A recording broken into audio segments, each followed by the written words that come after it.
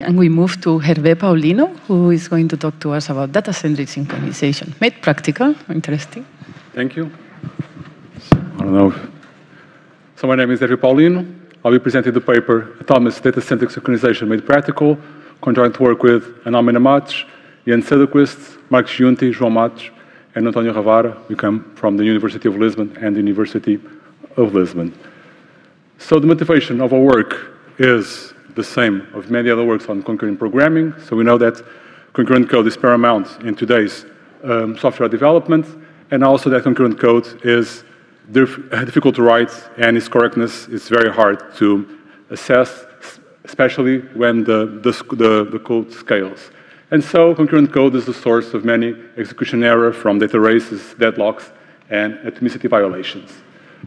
So in this paper, we promote the, the use of data-centric synchronization, which shifts the expression of concurrency-related constraints away from control uh, structures, so code, to data declaration.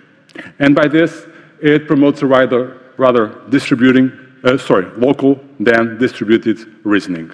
So the reference work in data-centric synchronization is atomic sets. In atomic sets, we have to explicitly group memory objects that share consist consistency properties in uh, a set, and then reason which sets have, we have to take into consideration when executing an operation, namely um, a method. So although being a seminal work, the atomic sets, so the model is rather complex, and so it has many keywords, for instance, it also requires one, when using a type, one to know the internal of the type. So know, to know if the, the type uses an atomic set and how this atomic set relates to the atomic set of the class we are implementing, or in the context of the method, we have to know the, so which parameters of the method have atomic sets and how they relate also to, so which of them we have to take into consideration when executing the method. So here we propose a different approach. So we have our approach called AtomiS is type, type qualifier based. So we have uh, this atomic qualifier, type qualifier, that contrary to atomic sets, it has an impact on the type. So uh, type T and atomic T are not compatible, meaning that a value assigned to a, type, a variable of type T cannot be assigned to a variable of a type atomic T, and vice versa. And that flows upwards the, the type tree. So if uh, type T implements an interface I, atomic T will implement atomic I, and these are also not compatible. So uh, besides this, we also have that, the notion of unit of work as atomic sets, which is a sequence of instruction whose execution must be perceived as an atomic operation. So this is atomic. This in atomic, this translates to uh, an excerpt, to a portion of the method body that goes from the first access to an atomic value, which is so not in calls. Atomic value, it's a value assigned to an atomic uh, qualified uh, variable, so an atomic, for short, an atomic variable, to the last access to an atomic value, also not in call. So from the first access to the last access, this is a unit of work that must be, must be executed, uh, must be perceived as an atomic operation for the remainder of the system. So what is the programmer called to do? He has to place all the values that he wants to be accounted for in a unit of work in um, atomic, so atomic annotated types. Um, if, when it does so, if these annotations are, if, uh, are consistent, a compilation process will generate code that's free of data races, atomicity violations, and deadlocks. So to do so, um, the programmer is called to annotate uh, fields at class level. So it must annotate the fields. So it must provide atomicity information about the fields, only the fields, nothing else, at, in classes. So this atomicity information, so it's the type is left bare means that the, the type is non-atomic. With atomic keyword naturally means that is atomic. We also have this atomicity of annotation that allows to, uh, for fields to share the atomicity of another. So have the atomicity of, so say that one field has the same atomicity of another field or even of a type parameter as we'll see further ahead. Uh, the programmer is also called to, at interface level, to say for each method which are the combinations of atomic, not atomic, that must be supported uh, for each um, method parameter and return type. So the notations are the same as above, with the exception here of all. When applied to a parameter or return type, it means that implementation of that, of that method must support both atomic and non-atomic for that parameter or for the return. We'll see an example ahead. So here we have a list of atomic objects. So it stores atomic objects. So when we store, the objects must be annotated with atomic. And when we retrieve, we also receive an atomic object. We also have here another method. This contains all that checks if the current list contains all the elements of another one given as argument. And here it must support both atomic and non-atomic lists. Okay? Here have you an implementation. So this is a concurrent list that stores atomic objects, meaning that besides storing atomic objects, the list itself may be um, used concurrently, so concurrent assertions and removals, and it does so by saying that all nodes, that's here node of atomic, I'll go into that, um, must be accessed in units of work, and so we annotate them with this keyword atomic. So a node of atomic is for short um, a node of an, that stores an atomic object. Note that we don't need to annotate nothing here uh, on the meta definitions. All the, um, uh, the annotations will be inferred. I'll, well, I won't have much time to go to that, but I'll lightly or briefly explain ahead. So here are the semantics, also briefly. So as I said before, each method that access an atomic value, so for the first access, not in calls, to the last one, not in calls, has a unit of work. So a method that features a unit of work, this unit of work must be perceived an atomic operation, meaning that no other units of work executing must, may see intermediate versions of the state that's being manipulated by this method, meaning by the, its unit of work. So an example here, this is L1 contains L2, so checking if list L1 contains list L2, it starts by reading L1, then L1 and L2. So here the two bars, meaning that it's executing its unit of work. If concurrently we have an insertion in L1, this insertion will have naturally to wait until uh, the first method has released the list L1. When it does so, so it will compete to acquire this resource, and if it does, it may execute its unit of work. Of course, uh, others that operate over different objects may execute concurrently. So I won't have time to go also deeply into this, but we have to consider the composition of units of work. A simple example is a transfer in a bank account, which itself does not directly access atomic states, but it uses a withdrawal operation and um, deposit operation that both access an atomic balance. So deposit and withdrawal will have uh, units of work, but transfer will not, because it, it does not access an atomic value. Uh, regardless, we want this operation to be atomic. Uh, for performance issues, we do not automatic, automatically, automatically compose every unit of work. What we do is, so we issue warnings for all these, so all these cases. So for the um, the programmer to handle them, and then we have policies for more conservative, more conservative to full conservative. Sorry, for less conservative to full conservative. Um, the programmer may choose one of these policies and then even adjust the policy for individual methods by using these annotations. Unit of work saying this method must have a unit of work and no unit of work, so this method must be an exception and not have unit of work. So one also, one novelty of this, of our work, is the, we leverage on type parameters, meaning that we can encode the atomicity of a type on a type parameter. And we do this either at class definition, here we have a, class of only atomic types, or a class, a type use, where we say, for instance, that this class C extends D, and D, the, so the type parameter of D must be atomic.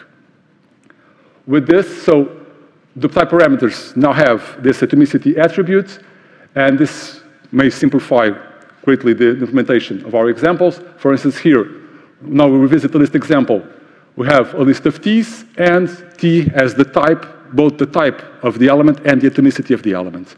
So here, we may remove the annotations of atomic because the atomicity of the element is given by the atomicity of t. So for a list, for instance, of atomic objects, here T will be atomic. For a list of regular objects, the T won't be atomic. So if we go here now to implementations, first we have here a node of T's that may be, once again, atomic or not. And here, we now our, our list implementation will start by a base list that besides the, um, uh, the T uh, element to the T type with the, the type of the elements, we now have a new type parameter n where we will, that will be used to encode the atomicity of the nodes. So n extends node, and we use this n now to declare the nodes of the, of the list. And if n is atomic, we'll have a list of atomic nodes, and if n is not atomic, we'll have a list of non-atomic nodes. And so we can write the concurrent list simply by extended base list, saying that the nodes must be atomic and a list of sequential, so non-concurrent, with uh, saying that node is not atomic. Now, if you want to have a concurrent list of atomic nodes, of atomic objects, sorry, we simply write it this way. So, brief, going quickly through our compilation pipeline, we have the first case. So, we have this atomic class spe specialization. So, this atomicity property of the, of the, type, of the type parameters cannot be erased by, type, by, by Java's type erasure. So what we do is we have to generate a class for each of the, um, the combinations. So for this base list, we'll have four versions of the class. Um, and then these four versions go through the rest of the pipeline.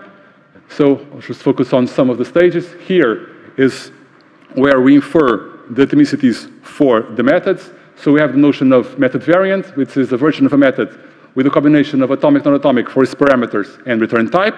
We check for each of these combinations if it's safe or valid or, or not. So if it's safe, uh, in the sense that this does not um, break this rule that atomic values cannot be assigned to non-atomic variables and vice versa, the ones that are deemed invalid are removed. And then we have to make sure that there are, no, there are no calls, to, all calls to methods are calls to valid variants, and also, given that we have removed some of the variants, we have to ensure that the, inter, the interfaces that the classes must implement are still implemented. So if a class, for instance, asks for a method that receives an atomic value, and, that, and the implementation with, so uh, makes that variant invalid, that will have to say that the interface is not, um, is not being implemented. So at the end, having the, the type safe code, we generate the concurrency control. So currently we, currently we use locks. Uh, we have a lock-based lock injection inference algorithm inspired here on AutoLocker, and we use either mutual exclusion or read-write locks. Um, so the properties, although not presented here in the paper, we have um, so formal implementation of the formalization of the, of the language in Olong, what you call Atomis Olong. Olong is a core language, a concurrent core language. Um, we have formalized the inference of the qualifiers. We have type soundness mechanized in Coq. We also have behavioral soundness up to lock injection, so up to this point here, but not yet mechanized. And as I'll say later, we are working on the formalization of the lock inference. So going to numbers, also quite quickly. We have applied Atomis to several uh, use cases. Here we have some Java collections. So here are the annotations that we use. Um, you can see that there are slow, so smaller than the original locks. Uh, more than this, the concurrency control is, is centralized on the, um, the declaration, not dispersed along the code in locks and unlocks. Um, but this number of annotations can be further decreased if you use the type parameters. So this is without type parameters, this is with type parameters. Of course, type parameters cannot be used in every case, but in this case, we can. This is the number of extra type parameters. So besides t, if did we add to add a new type parameter, as we did for the base list with that n. So in some cases we had, in this case we hadn't. And these are besides the type parameters. Sometimes we had to use annotations that are of the type atomicity of, just to spread the atomicity of the, of the type parameter across several fields. So say that several fields have the, the atomicity of that type parameter. Uh, also have information about units of work, so we have to reason about its composition in some of the, of the examples. So regarding compilation time, just say that currently we have go, so the average time is around, we'll say five seconds.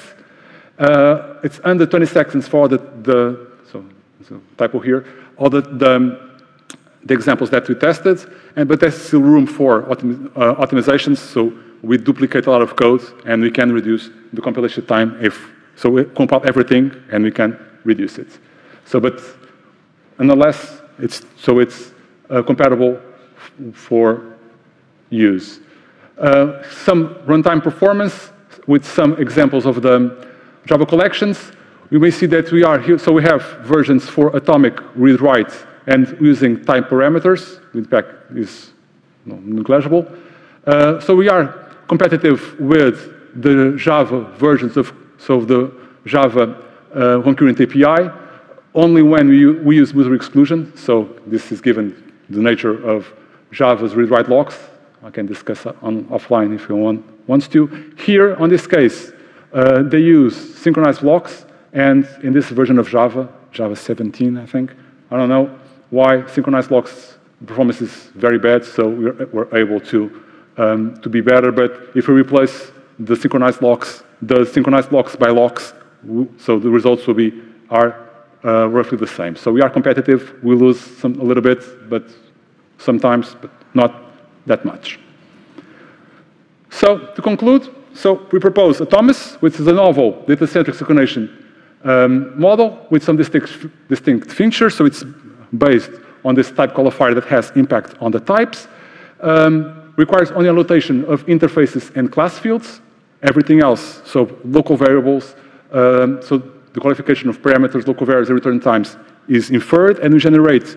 So if we have two versions of the same method, one that, is, that receives um, an atomic value, not that does not. We generate versions for both, so code for both.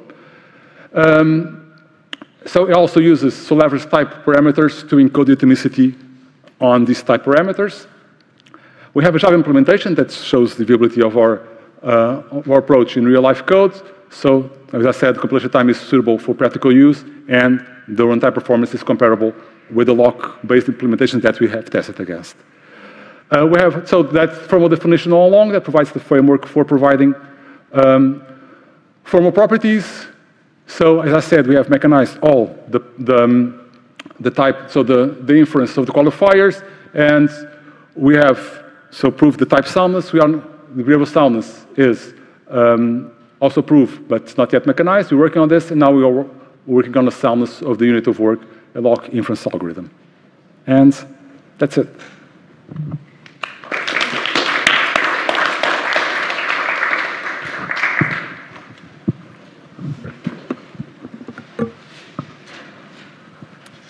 Hi, yeah, a couple of questions. One of which is um, how does this relate to the more qualifier-heavy forms of um, concurrent languages, things like Pony, where you have 15 different qualifiers? Have you thought about Sorry? that? How, how does this relate to systems like Pony?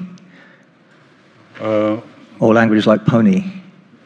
I don't know exactly what's is what your it relates in what terms. Pony. I don't know Pony. Uh, so the, You haven't come up, okay, it's one of these things which has, you know, immutable pointers and isolated pointers and shareable pointers and this sort of thing.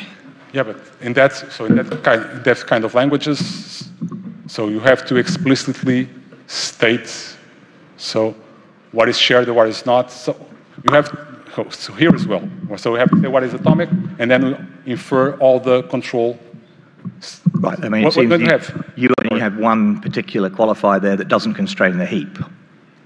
So You just have one qualifier, whether it's atomic Yeah. and not atomic, and that doesn't constrain the heap, I think.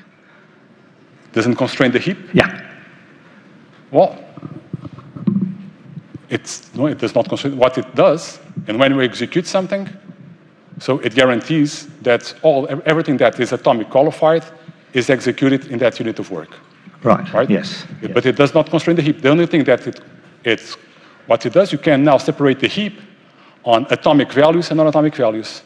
And these are not, you cannot assign values, so part of the atomic heap to the regular heap and vice versa. Th- This is what provides, provides you uh, the, the ground or the foundation for not having atomicity violations or, Yeah, or cool. races. Yeah, So in that way, what we do is we separate the heap in two. yeah. I was just wondering how it related to the stuff with more complicated heap topologies. And my other question was, um, are the sort of generic things you're using there similar to the stuff that I think Alex Potanin did with, uh, for generic ownership in Java? It looked, looked quite similar.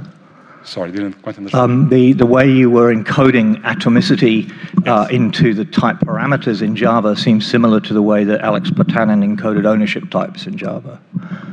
You, you, you- he also uses um, the type parameters? Yeah, Okay, didn't know. yeah.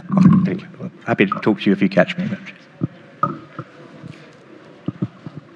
Let's thank Hervé again.